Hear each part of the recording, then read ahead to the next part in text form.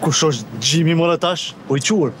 A, nji kishe s'pe njeh kush është Gjimi, krejt e njohin, djali i ambasadorit t'Anglisë kush është. A e din që ai krejt këto femnat me emër të Prishtinës, i ka pas femna, ama në mu, u mbullë si gjoja, bre, u dashuru kështu flist. Ai dashuru në ty, a puna po dalësh, ani, ani, ani, mirë, ani, kalosh mirë ti, e shihemi na, ajt çau. E ça po bën ti këtu? Qysh unë, kesh mi hongër një hamburger edhe tash po shkoj. O, po, e pse edhe ti ki me dojnë dorët me naj këna? Moj, oj, ngom, Blik, unë jam në punë, edhe në pauzë duna me hongër diçka, a po kupton, erdha mi hongër një hamburger. Ue, t'ja marr more edhe loçkës teme një,